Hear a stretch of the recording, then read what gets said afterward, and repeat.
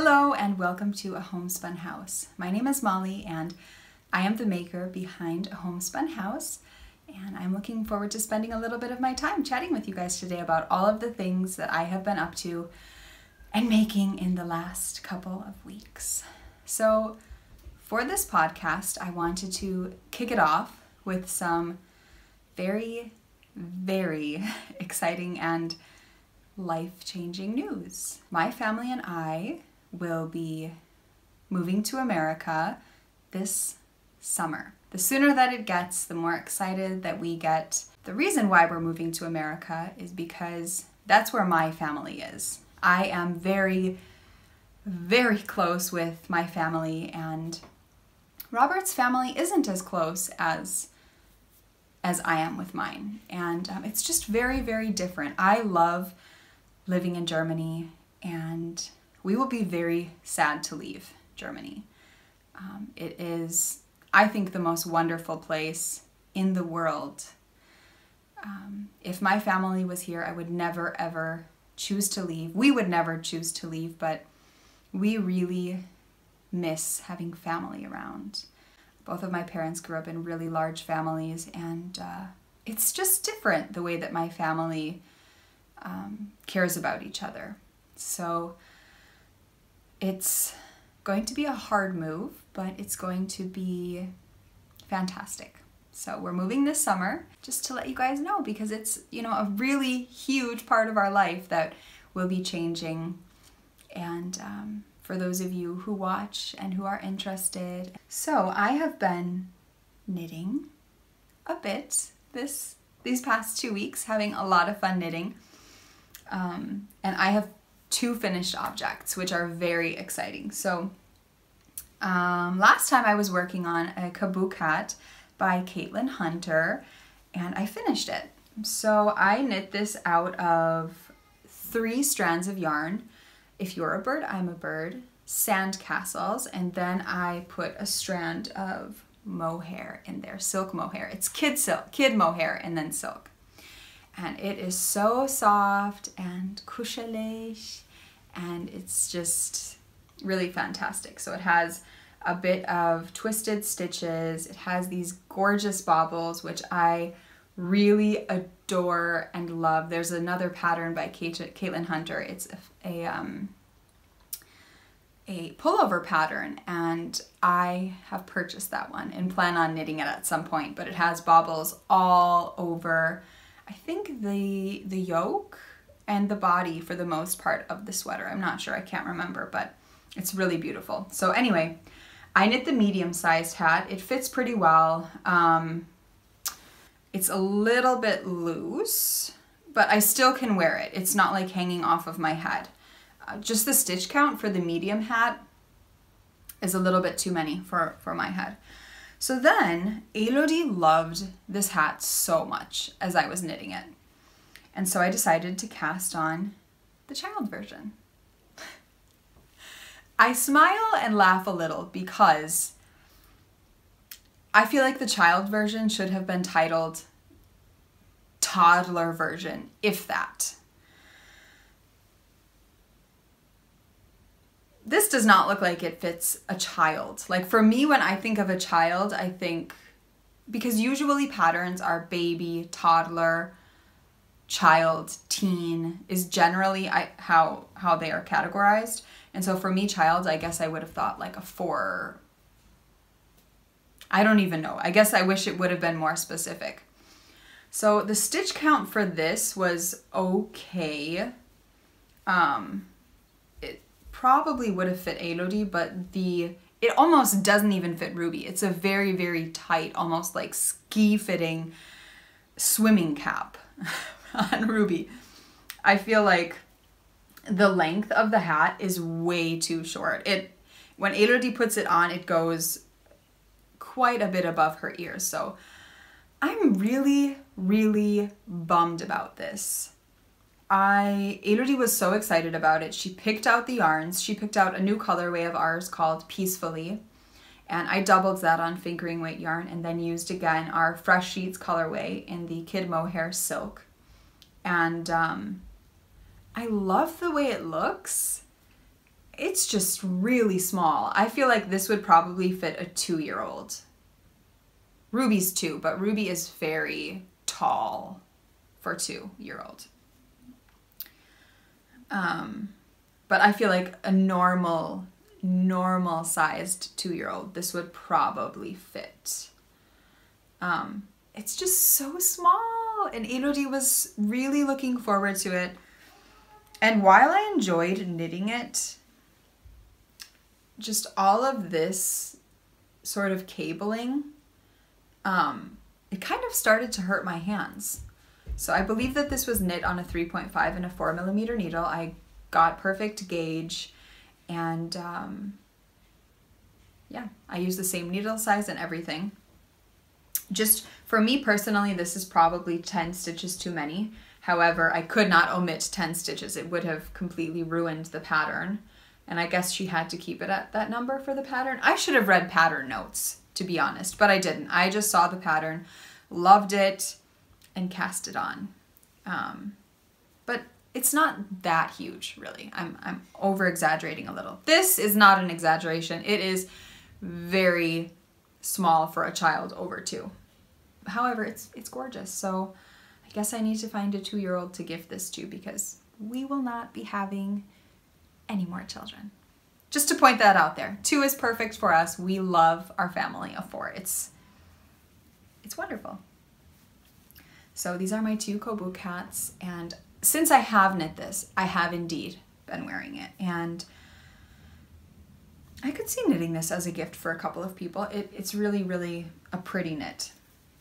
So those were a lot of fun. Some other things that I have been working on are two pairs of socks and um, I am knitting on my Deathly Hallows sock kit. And this comes with a skein of the Elder Wand, which I used for both of my cuffs. I guess I should probably grab the finished one. So the Elder Wand, which I used for both of my cuffs, as you can see.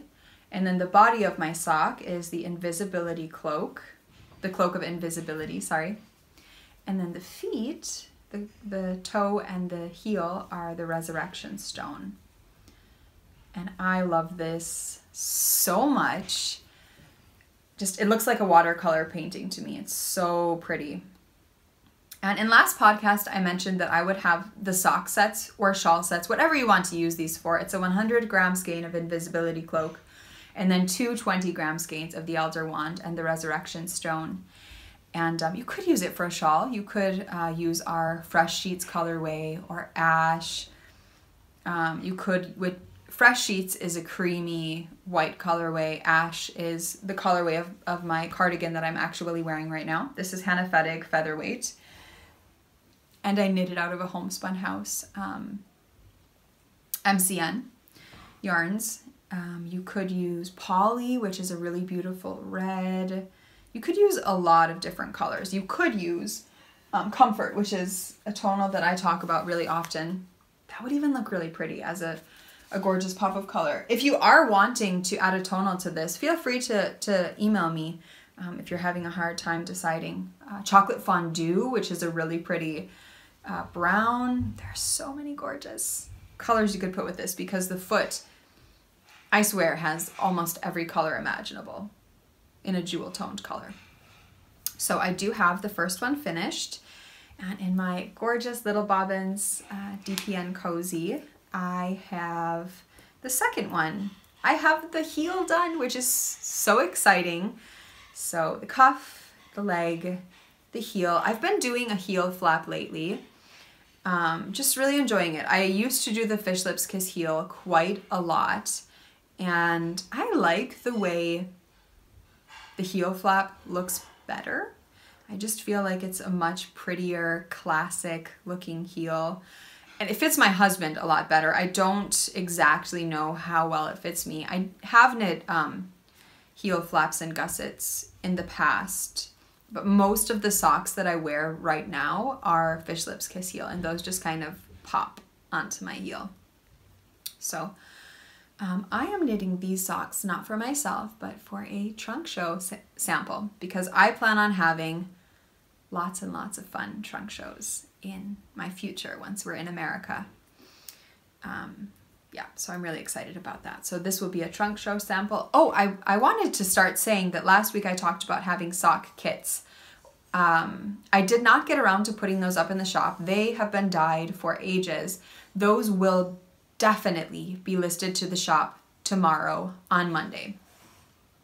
So look for those if there's something that you're wanting to get. They will be available on Plump Merino, which is an 80-20, uh, Soft Sock, which is a 75-25, and um, Stellina. So yarn with Stellina in it, uh, superwash merino and nylon. And um, those will not be dyed or put up for sale again in, until um, next fall. I will be having quite a big gap of time, probably two months, where there will be no yarn in the shop, and that will be after we move to America. Just as a heads up. So, um, yeah, look for those on Monday. I know a lot of people have been wanting to get one, so I've been seeing a lot of them pop up on my Instagram feed with that hashtag a homespun house, which is so much fun to see. So um, yeah, and some of these will be having um, chocolate frog progress keepers in them. I have a handful of them. I think 10 um, of these sock sets will have chocolate frog progress keepers if you want to get them. So yeah, I've just finished knitting the gusset stitches and now I'm just onto my normal stockinette knitting, which is perfect for my nap, night, to nap time knitting. And I am using Knit Pro Karbonz for these, which I really like. I mentioned last time that I have started this complete love affair with Hiya Hiya Sharps. I will be knitting all of my projects on Hiya Hiya Sharps probably. I don't know about DPNs. I have a set currently. I have not knit anything on them, but I'm really looking forward to using them. The next pair of socks that I am knitting on are the socks that I'm knitting for Robert. These socks Every time I look at them, I am just. They are so huge. You guys have seen me knit socks for Robert before, but this is definitely the biggest pair I have ever knit for him. I have these again in another Little Bobbins DPN cozy. And I'm, I'm enjoying knitting these. They're just so big. I mean, look at this. This is longer than my head. This is as long as my hand to my elbow. I told you guys, he requested a really, really long leg and he got it. So um, for those of you who don't know, Robert is six five, six five and a half. I always seem to forget. He's one of the two. And um, he's tall, he has big feet, and he wants long and long socks. long and long socks. So I am knitting these out of, the cuff is our Woods colorway. The leg is Frida. And the heel and cuff will be out of the same yarn. And so now I have finished again my heel flap. I finished the gusset as well, which is very exciting um, because Robert and I alternate bringing the girls to bed every other evening. And um, socks are just my nap time knitting. So uh, this is just the first one. I have not knit the second one. I am hoping, hoping that I do not finish this sock, knit the second sock down to the toe, and not have enough of the Frida colorway. Um, yeah, so it's making me wonder if I should knit the, the toe halfway, or the foot rather, halfway and then start from the outside of my cake and literally knit the second sock so that I can stop exactly where I have no yarn left and both of the toes are pretty much both of the feet are pretty much the same length because I feel like it would be a bummer to not have them match to have one have this really thick toe in this contrasting colorway and the other one to be you know a standard sock with a contrasting heel and toe like my Deathly Hallows sock that I'm knitting. That's how I do a lot of mine. Lately, I think on all of the socks that I have been knitting, I have been doing a contrasting cuff, heel, and toe, which is fun.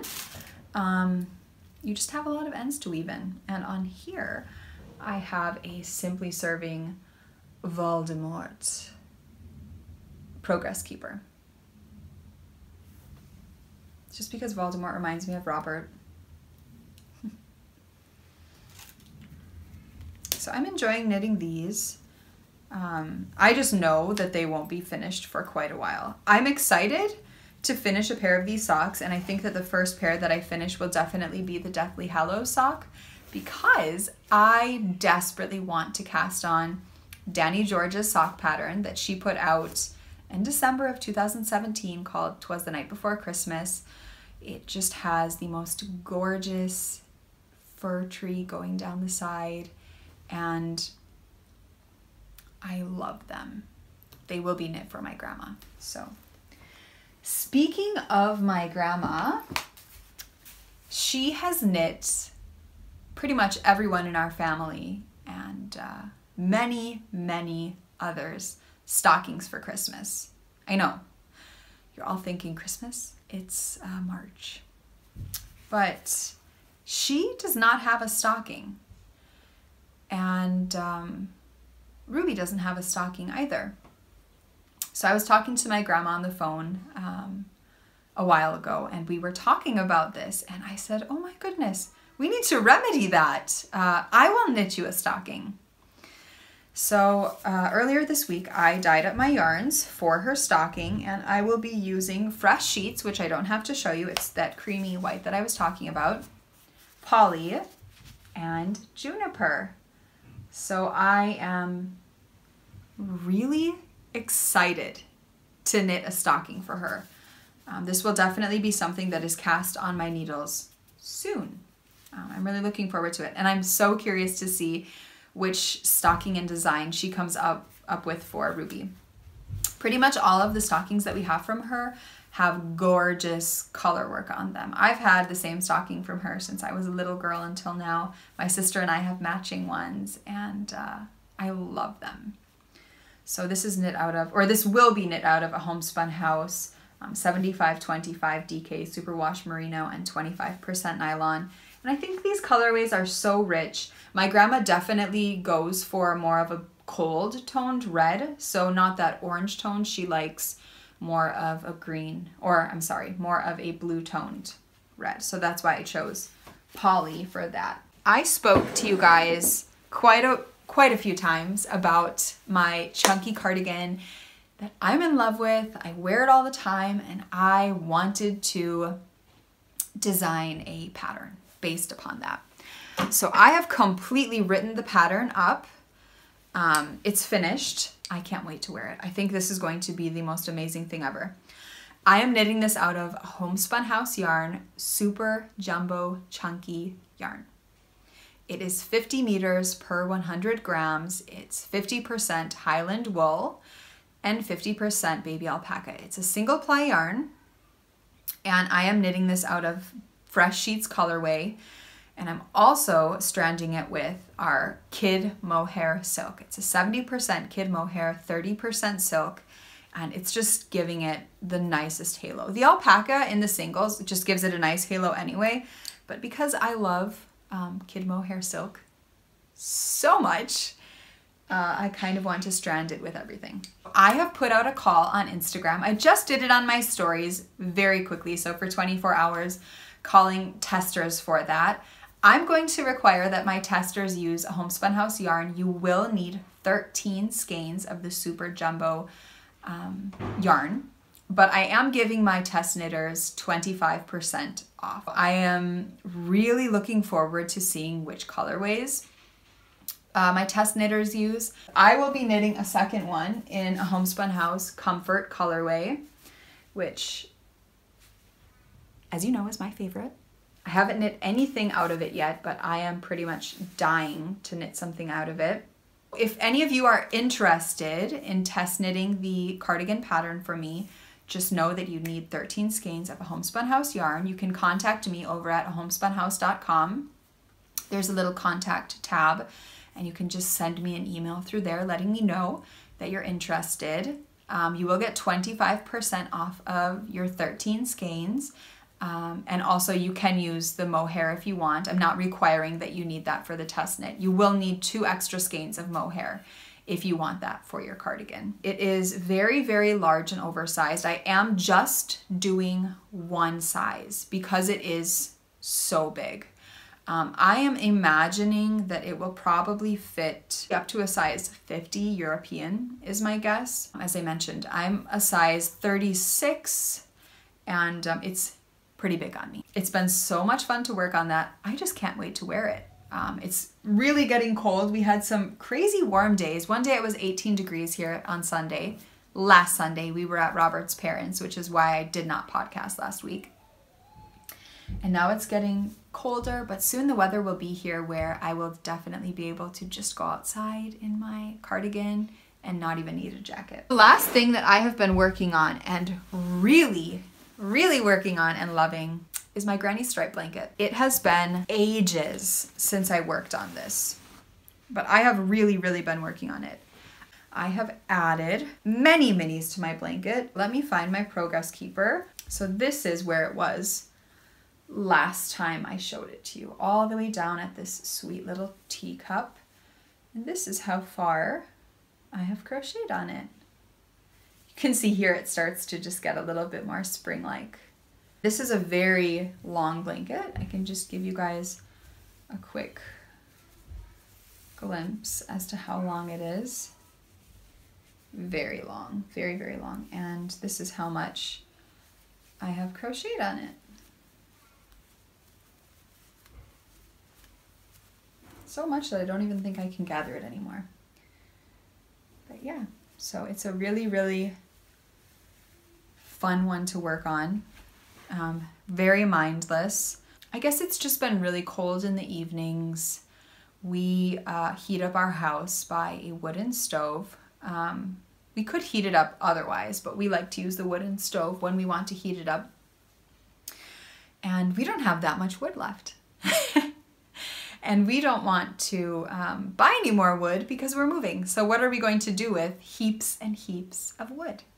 So we probably have enough wood for maybe five more days. I know this is so interesting, right? um, so I guess that's probably why I've been pulling out my granny stripe blanket because it's just so warm on my lap and um, it's so beautiful. I feel like I really, really love that blanket so much. I have just been really enjoying doing projects with minis. And I wanted to show you some little minis that we have in the shop. Um, I will have three Harry Potter sets in the shop. I have our Harry Potter signature colorways on Soft Sock, Plump Merino, and Gold Stellina.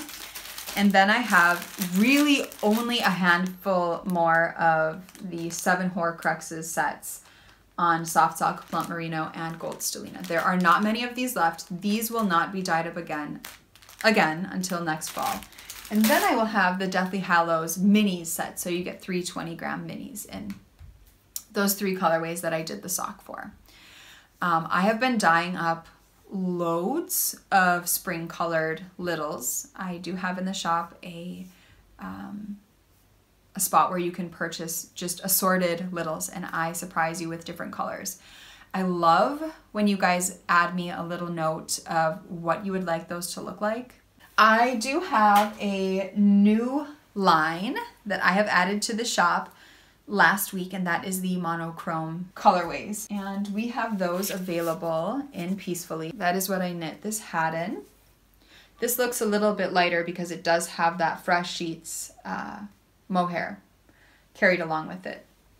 And because that's a creamy mohair, it really tones down the colorways. So this is Fresh Sheets on Soft Sock. I have Tuscan Sun on Soft Sock. These will be available on other bases. I just want to let you know that this is Soft Sock because I often have people asking and wanting it on exact bases that I show on the podcast. This is Creamsicle on Soft Sock. I love this one.